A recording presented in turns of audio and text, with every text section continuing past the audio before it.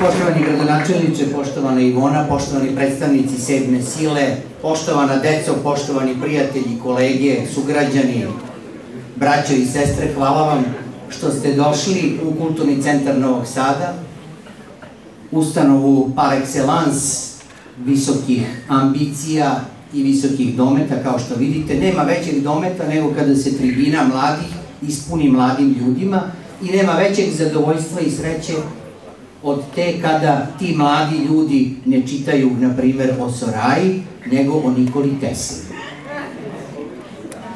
Jedan narod je bogat ne samo po količini zlatnih poluga i deviznih rezervi i bruto društvenom proizvodu i kapitalu, a to je izuzetno značajno i molimo se Bogu da naša država ide još krupnijim koracima napred, ali postoji jedno drugo, mnogo važnije blago, a to blago je kulturno, naučno, identitetsko blago. Nikola Tesla jedan je od kamena temeljaca upravo tog i takvog blaga.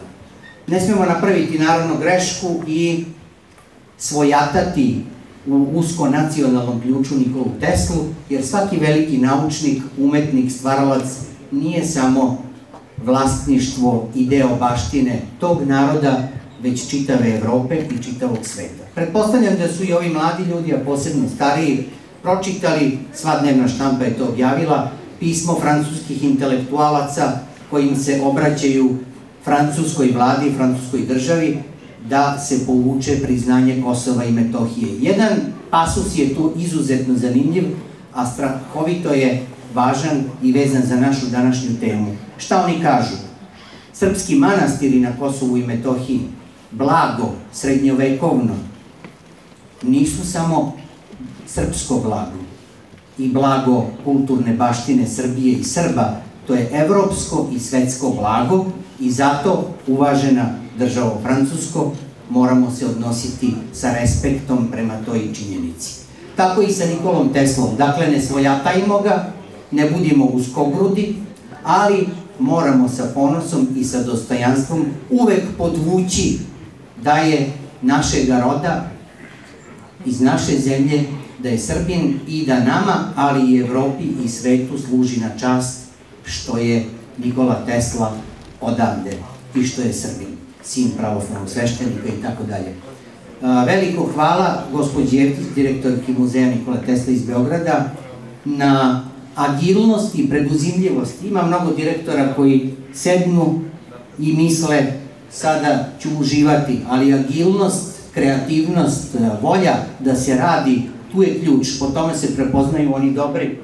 A ova izložba je spoj kreativnog i edukativnog. To nam je potrebno. Kulturni centri i muzeji ne smeju biti otuđeni od običnog čoveka i da budu na sceni samo visokoparne izložbe i rasprave i debate, treba da bude i toga, ali moramo imati i ovakve izložbe koje će običnom čoveku i detetu, mladom čoveku prikazati na izvanredan način nešto što je strahovito važno za našu istoriju, za naš narod i za našu budućnost i za naš brend.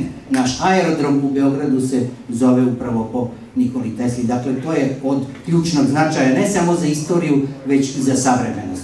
Takođe, zahvaljujemo se i gradonačelniku Novog Sada, koji je, po Bog zna koji put imao sluha za stvari kulture, u jednom gradu obhrvanom raznim izazovima i vrelovoda i puteva i rasvete i kulturne predstavnice pronaći vreme za ono što je deo kulturne baštine i kulturnih identiteta, to pokazuje da taj čovek nije samo tehnokrata, već i da ima istančan senzibilitet za identitetska pitanja ovog naroda.